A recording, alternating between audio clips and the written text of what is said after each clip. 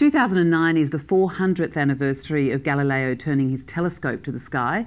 To discuss this is Dr. Peter Slezak. He's from the School of History and Philosophy of Science at the University of New South Wales.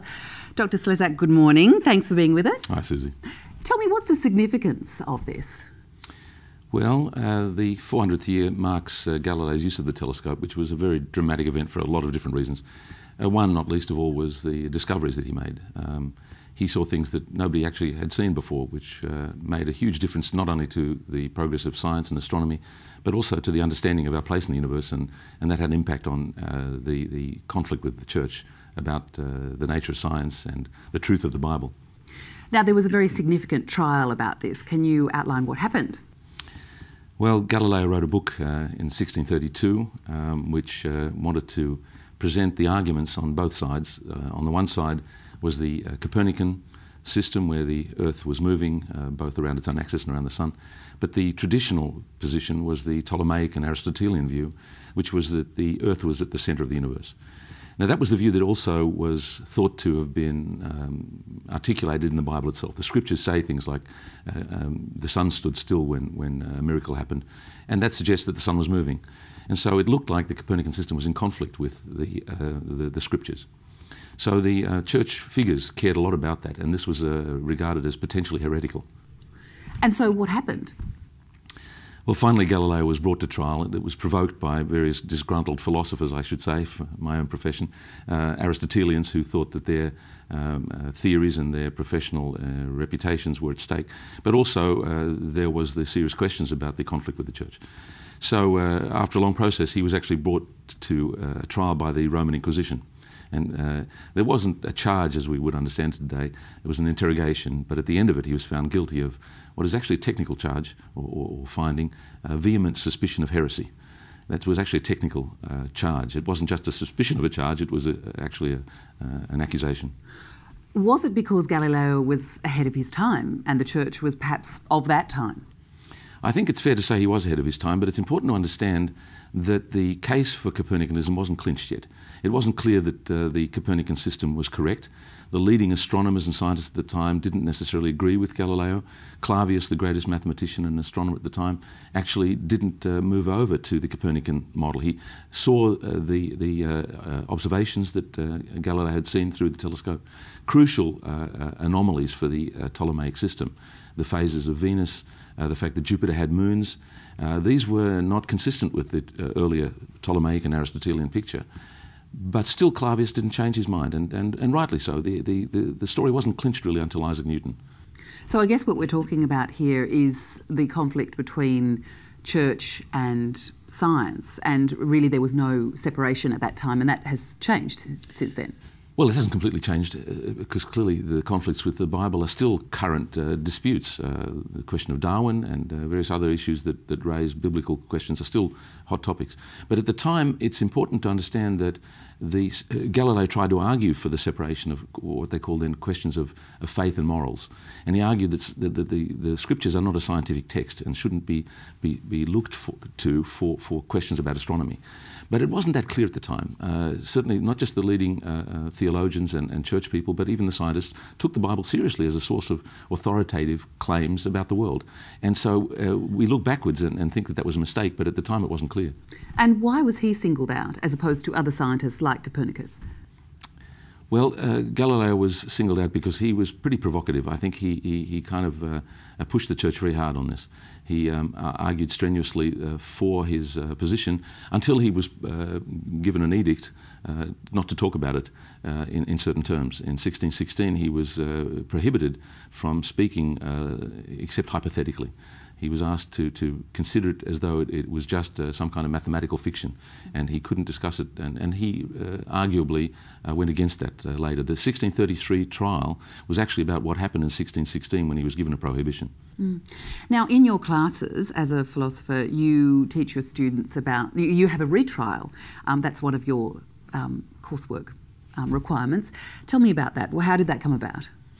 I learned of this uh, at a conference of educators once many years ago when they did something like a retrial, and it was a pedagogical device that was a way of illustrating many, many issues. One of the wonderful things about the Galileo affair is that it raises questions not only about science versus religion and the nature of science and scientific revolutions, it raises questions about, for example, uh, authority and dissent, which is at least a, large part of what that was about. And many of the questions are still open. And so, a wonderful way to, to bring the, the subject to life is to put the, the uh, uh, issues to a retrial. Um, and, and it works because there's a strong case on both sides. It's not as though Galileo, as is widely thought, according to the stereotype, to have been this poor guy who tried to tell the truth, and the terrible church simply just came down on him and, and, uh, and uh, um, you know, threatened him with, with heresy. Um, it turns out that the church had a strong case, and so a retrial is, is uh, an important exercise that has, has arguments on both sides. Now, as for doing it as a trial, it's really just a lively way of doing history where instead of just reading the documents and, and the sources that are available, you put them in the mouth of characters, uh, people that are playing the roles. And so it's really just a, an exciting way to do history. And this time, you're doing it with a, a special twist. Tell us about that. It's quite high profile. Well, in this case, uh, instead of using the students and academic staff as we used to, which has always been a lot of fun, we've got some very interesting people uh, playing the parts and uh, going through the exercise. We have uh, um, uh, the astronomer Fred Watson playing Galileo. His defence counsel is Julian Burnside, and the uh, prosecution is Anna Katzmann. We have uh, um, Bob Carr playing the uh, Grand Duke of Tuscany, Cosimo de' Medici. Uh, so we have a very interesting group of people, including priests playing the role of the Pope and Cardinal Bellarmine. And this makes it very interesting because these are people that in real life have some related uh, um, um, professional or, or, or, or, role. And so uh, this brings it to life in an interesting way. So I understand you've got some uh, very high-profile people also from the ABC. We have indeed. We've got the science broadcaster Robyn Williams. We have the uh, Philosopher Zone uh, broadcaster, who is also a philosopher, uh, Alan Saunders, and of course Geraldine Doogue from the Compass program is involved as well. So it's a very interesting group of people. Now, one thing that is going to happen is that you're looking at when the retrial, you're looking at it through the, the trial at the time. You obviously aren't taking it into the modern day.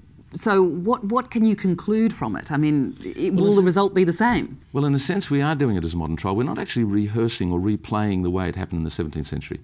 Uh, the reason for that is it wasn't really a trial, it was a kind of inquisition. He came in and he didn't know what the charges were. Um, and uh, uh, so it wasn't a trial as we understand it. But what we're doing actually is putting it into the context of a, a modern trial effectively with, uh, with a jury and, and with uh, prosecution and defence. So we're actually rerunning uh, what was the case then, but in a modern context.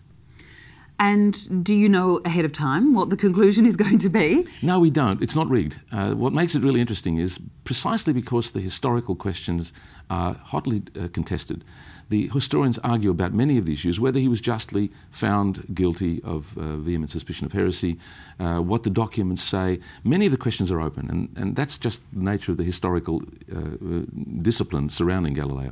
So that means it's a very interesting thing to actually replay, and we don't know the outcome. It'll be for the jury to decide, given the case that's made by the, the players, the so called historians, uh, in this case, on both sides. So it will be a very exciting night on the 26th. We'll look forward to hearing the outcome.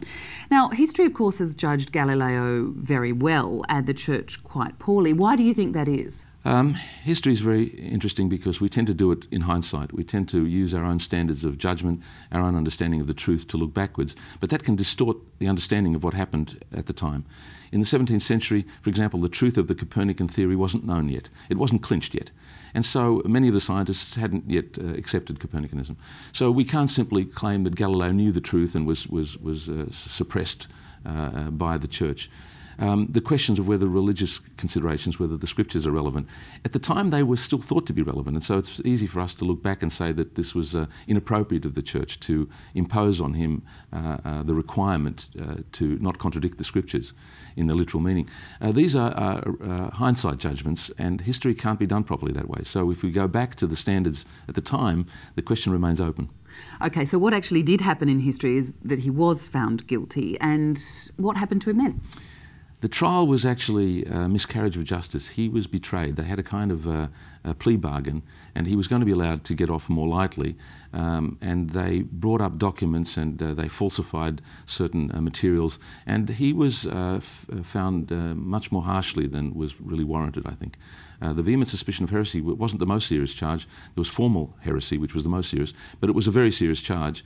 And um, whether that was justified or not is, is still, I suppose, arguable. Certainly, he was um, pushing very hard against the, the regulations the church had for how the church decides matters. The Protestants were the ones that left it open for people to interpret the scriptures as they would like, but the church had very strict procedures about that.